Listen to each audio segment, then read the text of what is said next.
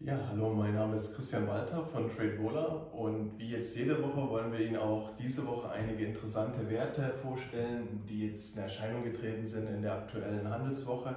Ich denke mal, der heutige Handelstag ist natürlich auch besonders interessant. Wir haben wieder einen neuen Allzeithochkurs im S&P 500, sicherlich auch mit der Einführung des neuen Präsidenten, äh, was die Märkte jetzt nochmal positiv mit aufnehmen und das gleich genutzt haben oder der S&P auch gleich genutzt hat um, um auf einen neuen Allzeithochkurs zu steigen. Das schauen wir uns auch gleich an.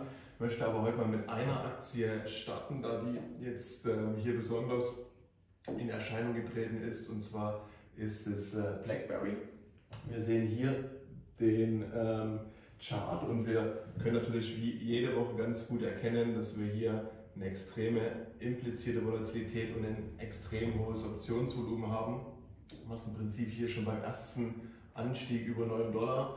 Das war jetzt, ähm, so kurz zurückrechnen, das war jetzt letzten Donnerstag schon, ähm, sag ich mal, das erste Signal, den ersten Impuls gegeben hat. Und hier auch ganz interessant, es sah anders aus, als was wir hier hatten, wo der Wert einfach mit einem Gap nach oben gegangen ist und dann im Handel schon korrigiert hat. So stellt man sich eigentlich idealerweise einen Anstieg vor und konnten hier auch schon ähm, sehr, auch sehr kurzfristig schon etwas mitnehmen bei BlackBerry. Also BlackBerry aktuell hier ähm, ganz interessant. Aber wir wollen natürlich auch nochmal zurückgehen auf Werte, die wir in den vorangegangenen ähm, Schaltungen mit erwähnt hatten, um da einfach auch nochmal ein Feedback zu zeigen, äh, wie zum Beispiel TEVA. Da gab es ähm, auch größere Wetten, dass das über 12 Dollar ausbricht. Wir hatten, glaube ich, hier ähm, zu Anfang des Jahres ähm, diese Signalgebung auch hier nochmal schön zu sehen mit dem hohen Optionsvolumen. Und dann kam es hier sukzessive zum Ausbruch über die 12 Dollar. Heute der Wert zwar leicht im Minus, aber im Prinzip sieht das ähm, nach wie vor sehr stabil aus. Und auch wenn wir da ein Stück zurückgehen, sehen wir natürlich ähm, sehr schön, dass hier noch einiges ähm, nach oben am, am, Platz vorhanden ist, um zumindest mal zu den 52 Wochen Hochkursen zu kommen. Und ähm, kann das auch hier ganz gut erkennen, dass das Optionsvolumen, was jetzt Anfang des Jahres eingesetzt hat, wirklich ähm, ja, extrem hoch war und in der, in der Beziehung eigentlich noch nicht vergleichbar in den letzten Monaten aufgetreten ist. Also das nochmal ein Wert von den letzten Wochen. Wir wollen aber auch auf zwei, drei neue Werte noch eingehen. Einer der Werte davon ist zum Beispiel AMC. Dann gehen wir vielleicht nochmal ein Stück aus dem Chart raus. Da sehen wir nämlich hier, was den Ausschlag gegeben hat, die letzten drei Handelstage. Hier auch nochmal, auch was wir besonders Wert legen, das gestiegene Optionsvolumen. Hier muss man natürlich auch ein bisschen die News verfolgen. Der Wert war so gut wie pleite. Hier gab's, kommt aus dem Podcast-Bereich, gab es an den letzten zwei, drei Tagen wirklich sehr, sehr gute Meldungen. Und Sie sehen, der Wert ist von ja, 2,20 bis auf 3,30 ähm, gestiegen innerhalb von drei Tagen. Also 50% Zugewinn für eine Aktie auf jeden Fall sehr interessant und durch diese extreme Volatilität, die wir auch hier unten ganz gut über die implizierte Volatilität tracken können, sieht man natürlich hier, dass äh, das auch wieder ein Wert ist, der besonders äh, interessant für, für diverse Optionsstrategien ist äh, und auch da sich anbietet, gewisse Credits, gewisse ähm, Einnahmen durch ähm, Optionsverkäufe vielleicht äh, zu generieren. Also AMC ähm, oder AMC Entertainment Holding, wie sich der Wert ähm, komplett nennt. Und neben diesem Wert haben wir noch einen zweiten Wert, ähm, der, sag ich mal, charttechnisch sogar etwas extremer aussieht. Ähm, Im Prinzip kann man sagen, der ist bis äh, zum Dezember gar nicht in Erscheinung getreten und dann ähm, kam er wie Phoenix aus der Asche, würde man hier behaupten. Und wir sehen hier auch dann das einsetzende Optionsvolumen und so richtig explodiert ist das Ganze auch für vier Tagen. Ist ein Wert aus dem Diagnostikbereich. Da werden Sie natürlich momentan sehr viele Titel finden, die ähnliche Verläufe haben. Das wäre vielleicht sogar fast schon mit unserem ähm, Penny Stock Screener irgendwo zu vergleichen, wo wir ja genau so etwas tracken wollen. Wir wollen hier erhöhtes Volumen, wir wollen aber auch ähm, auf der anderen Seite einen beginnenden Anstieg. Und auch wenn der Wert jetzt nur noch 3,8% im Plus ist, der war heute in der Spitze schon deutlich über 3,50 Dollar.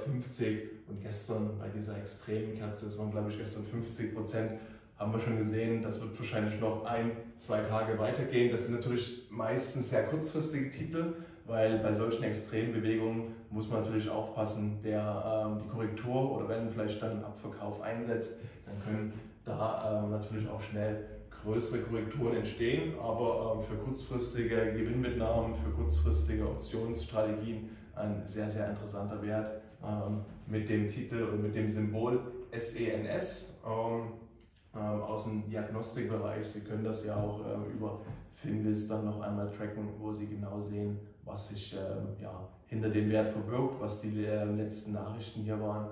Und ja, zum Bereich Finvis können Sie natürlich auch unser Video gerne einmal in Ruhe anschauen, um da genau die Informationen zu beziehen, die Sie vielleicht auch für Ihre eigenen Handelsstrategien benötigen. Neben diesen Werten waren in den letzten zwei Werten, äh, letzten zwei Tagen ähm, zwei oder eine Branche kann man sagen, nochmal besonders äh, im Blickpunkt, das war die Automobilbranche. Wir sehen hier Ford Motor, heute mit einem wirklich großen Zugewinn von 7%, also für Ford Motor, ähm, nochmal zur Erinnerung, ist kein Netflix oder keine NIO, ist das schon ein extremer Anstieg. Und auch das hatte sich schon Anfang Mitte Januar abgezeichnet, hier mit diesen ähm, gestiegenen Optionsvolumen. Wir haben hier den beginnenden Anstieg und man kann sagen, das ist jetzt ähm, seit sieben Handelstagen wirklich ein sehr solider ähm, Aufwärtstrend, den wir verfolgen und ähm, Ford war gestern auch bei den großen Werten mit enthalten, wo wir wirklich sehr hohe Optionsvolumen festgestellt haben. Das gleiche gilt für General Motors, da war der Anstieg sogar noch etwas ähm, größer in den Tagen zuvor. Heute nicht ganz so stark, die sind nur mit 3%. Ähm, da können Sie auch einmal nachschauen. Da gibt es einiges momentan an News, was hier ganz interessant scheint. Also äh, General Motors und Ford momentan die zwei ja, Schwergewichte, würde man sagen, aus der alten Automobilbranche. Sonst haben wir in letzter Zeit sehr häufig ähm, hier Tesla oder NIO ähm, uns angeschaut. Ähm, da war Ford und General Motors eher seltener ein Thema.